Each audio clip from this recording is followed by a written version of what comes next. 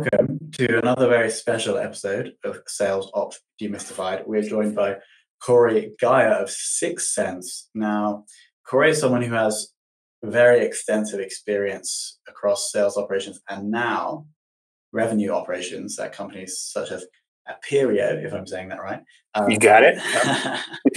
um, so, between, close to five years there running sales operations, um, and now more recently at 6sense. So, let's dig into this. And Kory, um, how did you originally get into sales operations?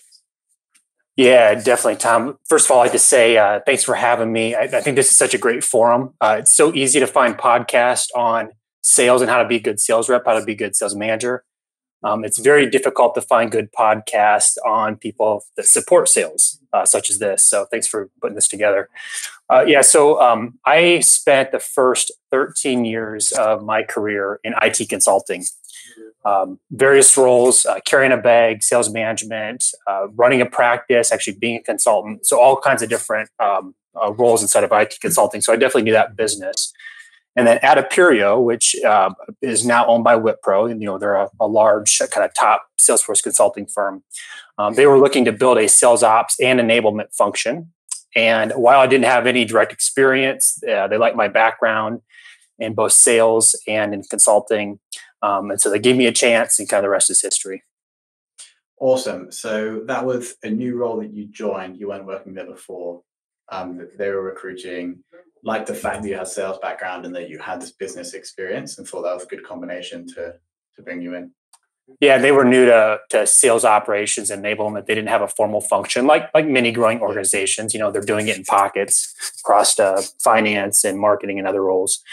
And so, um, you know, they liked the fact that I could kind of work cross functional because I knew the business so well. Got it. And then because you were there for nearly five years, right? That's correct. Yeah. So there were zero people in the sales ops team when you joined, and then when you left, how many people in the operations sales ops team, and then how many reps or uh, AEs were you supporting? Yeah, at Appirio, uh, when I left, uh, there was nine people in sales operations and enablement. Uh, we had uh, kind of two people dedicated mostly on enablement, and then um, the other six people um, uh, kind of focus on operations. kind of crossing the line a little bit into marketing ops in the sense of sourcing a lot of different marketing data, helping to maintain data. Um, that was across uh, 80 quota reps. And then um, we also had in consulting, you have a role that's kind of focused on account management that's paired up with the reps too that also carry a quota. So altogether, about 120 people. Nice. Um, and then the move to 6sense, was that advertised as a revenue operations role? Or it was okay, cool. So, what's yep. your rationale in, in shifting from sales operations to revenue operations? Well, I think um, you know if you if you watch what's going on, um, whether you want to call it sales operations, marketing ops, you know, rev ops, rev acceleration, I think is the new term I'm hearing now.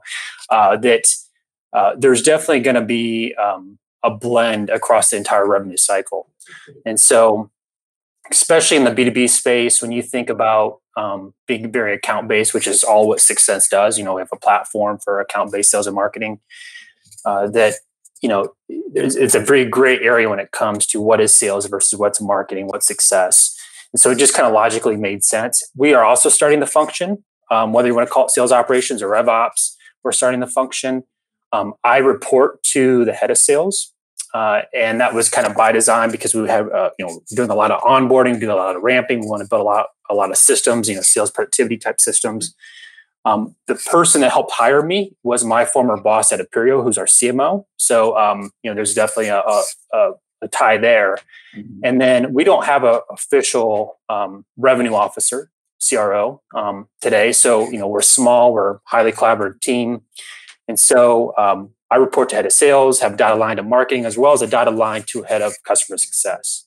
So um, it just kind of makes sense logically we um, had a couple other people that do support um, kind of digital and demand and, and marketing ops um, that are starting to uh, fold and roll under me. Got it. And how many people in the ops team versus how many reps? Again, same question. Uh, up until uh, up until two months ago, uh, it was just myself and a contractor. um, kind of tech support. Uh, now I recently hired two additional people. Uh, one person to focus on enablement. We're doing lots of onboarding, so he's highly focused on onboarding both BDRs as well as AEs. And then uh, a second person to really focus on the tech stack. And um, we have open roles. We're hiring more. Um, in terms of reps, uh, we have 20 quota carrying AEs that are out in the field today. Um, when I started, that was nine people. So we've over doubled that in, in eight or nine months. And then um, uh, we have obviously our customer success team as well as pre sales all together. Um, it's about 40, 45 people. Um, and then we are, you know, hiring as fast as we can, looking for good talent. So a little bit of advertisement, but I mean, we're looking to double um, all those roles really in the next 12 months. Got it. Um, and you mentioned we have a resource focused on tech stack. Could you quickly outline the 6sense uh, approach to sales technology? Yeah, well, uh, how much time do you have? uh, we have we have lots of tech. So uh, you know we're we're a B2B SaaS company, so we like our technology. Uh, we are Salesforce Sales Cloud for kind of all things sales. We have built a custom uh, Salesforce app for uh, customer success management. And so uh, that's managing all of our, our customer adoption plans and our use case management, things like that. We heavily use our own platform, 6sense. And so just to break that down quickly, um, territory planning when we hire a new rep you know trying to figure out what are the right accounts to go after um, that's 6sense all the firmographics that we're doing um, doing kind of pro- programmatic contact buys as part of a large you know sales or marketing campaign we do that as well um, display ads you know falls under 6sense and then all of the uh, kind of account intent segmentation that we're doing is 6sense uh, sales intelligence kind of notifying sales letting them know what's going on inside that account and then also all the sales orchestrations, kind of getting all that intent that's going on, and then you know sending that over to like a Salesloft. We use Salesloft to be able to kick off cadences as well for for BDRs and AEs. So that's 6sense. Mentioned Salesloft. We're using that for uh, prospecting and outreach, kind of running all those cadences. We do have uh, Seamless. If you've heard of Seamless. Um, AI for kind of one-off contact research at the BDR level. Um, we're looking into other solutions uh, for that as well. LinkedIn Sales and Nav. I think that's kind of a um, table stakes anymore. Uh, Gong. Uh, we have Gong. Uh, Gong, by the way, was probably one of the um, easiest adoptions I've ever got. Um, mm-hmm. That's you know another side story, but um, uh, lot had a lot of success with Gong for recording and kind of enablement and coaching. Uh, we we uh, just implemented Lessonly, for learning sales learning management, kind of onboarding, tracking, coaching, all inside of a learning management system. Um, we do have a tool called MediaFly um, that's an ROI calculation, kind of a value story tool. Um, we we also are in the process of implementing um, Uberflip, Lean Data, and Salesforce CPQ. So I told you, you know, how long do you have? Um, you know, at the end of the day, um, you know, we're a very uh, our, our, sales leadership team really um, understands the value of technology. Um, mm-hmm. so uh, a lot of it comes kind of comes down to what's the highest priority need and really getting making sure there's a strong sponsorship there uh, for um, this technology stack, both on the management side as well as the rep side. You know, early on during the evaluation process of these tech uh, technologies, and as well as even kind of piloting early on. Um, so you know, we look at lots of different technology. Uh, we'll mention that um, you know, looking forward, we are um, starting to explore like how can we get more disciplined around deal management, deal health, kind of deal analytics, um, you know, kind of strategic account planning, things like that. So um, that's kind of in the horizon. You know, three to six months out, we're starting to look at those types of solutions. Got it. A very comprehensive tech stack. Um, moving on to data quality, is that I assume that fits with your team, so data quality in Salesforce. Um, what are you currently doing to maintain or improve the data you have in the CRM?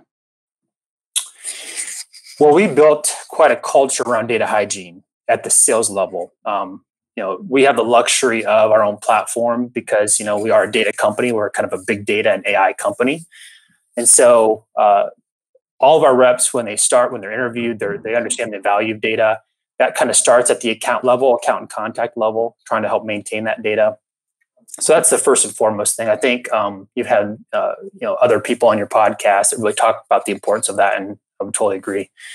Um, also, then, kind of from a back end standpoint, we do have a tool. Um, use you know, there's lots of tools out there, but we use Cloudingo for kind of account merging and um, converting leads and that type of thing. Uh, we are also in the process of trying to figure out like get a data team going, and so uh, you know whether that is a full time kind of data analyst we hire internally. You know, there's other um, uh, solutions out there. You know, there's a company called DataBees that we're researching um, that has kind of a whole uh, you know set of data analysts out there that you can kind of hire on demand.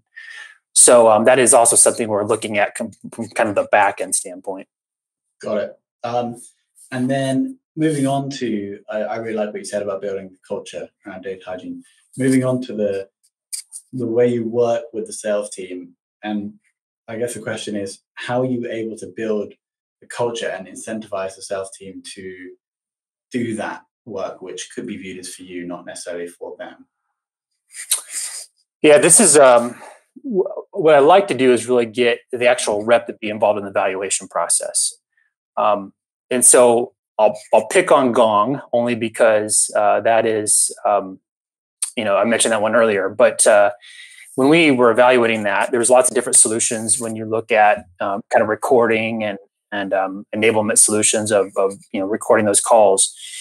And uh, Gong made it very easy to um, you know to kind of demo all the reps. We we stood up a pilot, and in fact, when we ran this pilot for 30 days, um, all before any type of contracts getting signed, uh, you know, we had our sales reps coming back to us saying, you know, we cannot turn this off.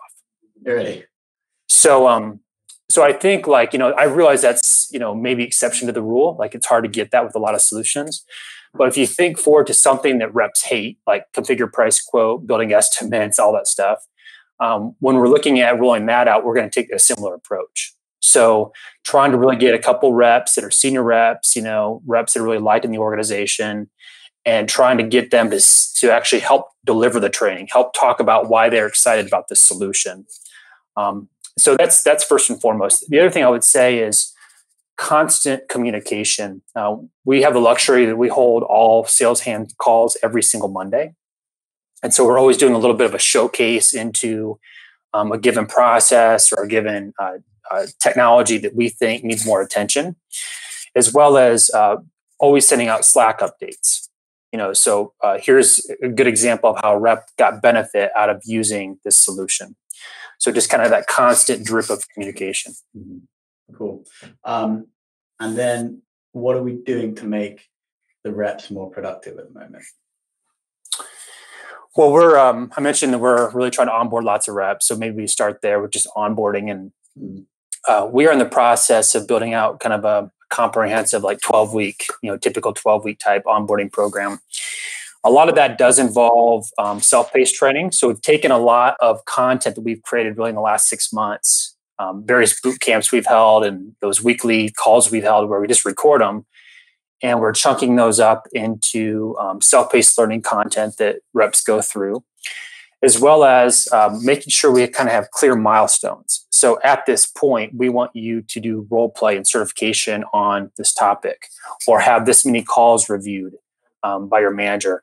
So really identifying kind of clear milestones most importantly um, uh, getting those tracked so that way their managers reminded hey it's time to do a b and c.